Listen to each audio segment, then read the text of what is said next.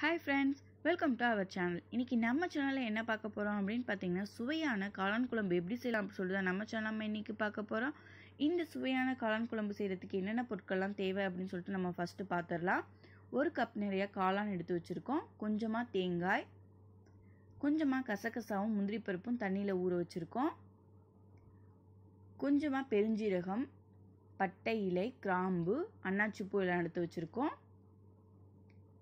அதுக்கப்புறமா பார்த்தீங்கன்னா கொஞ்சமாக கஸ்தூரி மேத்தி ஃபைனலாக நம்ம ஆட் பண்ண போகிறோம்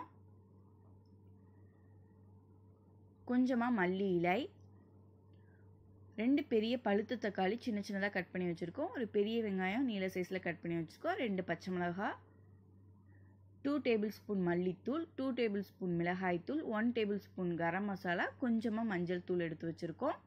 இந்த பொருட்கள்லாம் வச்சு நம்ம சுவையான காளான் குழம்பு எப்படி செய்யலாம் அப்படின்னு சொல்லிட்டு பார்க்கலாம் ஃப்ரெண்ட்ஸ் ஃபஸ்ட்டு ஸ்டவ் ஆன் பண்ணிவிட்டு ஒரு கடாய் வச்சுக்கோங்க. அதில் கொஞ்சமாக ஆயில் விட்டுக்கோங்க.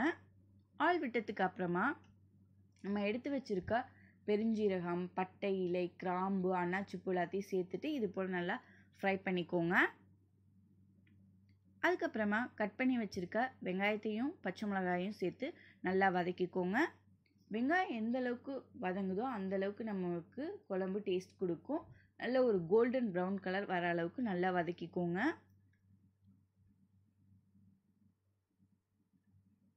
வெங்காயம் நல்லாவே குக் ஆகிட்டுருக்கு இப்போ கொஞ்சமாக நம்ம கருவேப்பிலை சேர்த்துட்டு நல்லா வதக்கிக்கலாம்.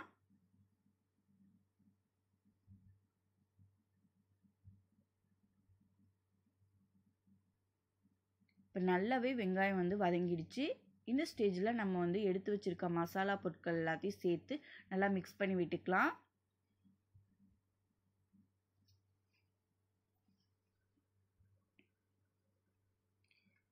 இப்போ கொஞ்சம் கொஞ்சமாக தண்ணி சேர்த்து நல்லா மிக்ஸ் பண்ணி விட்டுக்கலாம்.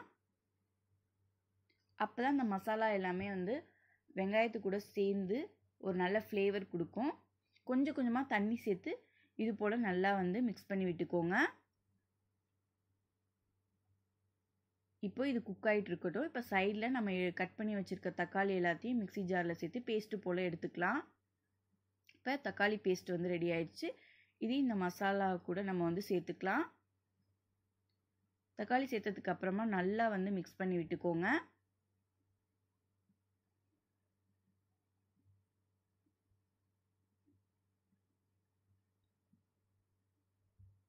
நல்லா மிக்ஸ் பண்ணி விட்டாச்சு. இப்போ லைட்டாக வந்து நீங்கள் வந்து உப்பு சேர்த்துக்கலாம். தேவையான அளவு உப்பு சேர்த்துக்கோங்க. சேர்த்துட்டு நல்லா மிக்ஸ் பண்ணி விடுங்க. இப்போ சைடில் நம்ம வந்து எடுத்து வச்சுருக்க தேங்காய் கசகசா முந்திரி பருப்பு எல்லாத்தையும் பேஸ்ட்டு போல் ரெடி பண்ணி வச்சுக்கலாம். பேஸ்ட் ரெடி ஆயிடுச்சு. இப்போ நல்லா குக்கான அந்த மசாலா ஐட்டம்ஸ் கூட நம்ம கட் பண்ணி வச்சுருக்க காளான் எல்லாத்தையும் சேர்த்து நல்லா மிக்ஸ் பண்ணி விடணும்.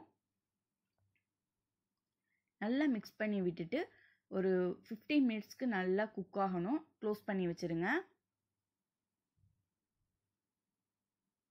ஃபிஃப்டீன் மினிட்ஸ்க்கு அப்புறமா பார்க்கலாம். இப்போ நல்லாவே குக் ஆயிடுச்சு இந்த ஸ்டேஜில் நம்ம அரைச்சி வச்சுருக்க தேங்காய் முந்திரி பருப்பு கசகசா பேஸ்ட்டை வந்து சேர்த்துட்டு நல்லா மிக்ஸ் பண்ணி விட்டுட்டு ஒரு டென் மினிட்ஸ் க்ளோஸ் பண்ணி அப்புறம் எடுத்து பார்க்கலாம் ஒரு டென் மினிட்ஸ் ஆயிடுச்சு. இப்போ நல்லாவே குக் ஆகிடுச்சு இந்த ஸ்டேஜில் நம்ம வந்து கொத்தமல்லி சேர்த்துடலாம். இது கூடவே நம்ம வந்து எடுத்து வச்சுருக்க கஸ்தூரி மெத்தியும் நம்ம சேர்த்துடலாம். கஸ்தூரி மெத்தி எடுத்துட்டு நீங்கள் கையில் லைட்டாக கசக்கிட்டு ஃபைனலாக சேர்த்துக்கோங்க ஃப்ரெண்ட்ஸ் இப்போது சுவையான காளான் குழம்பு வந்து ரெடி ஆயிடுச்சு.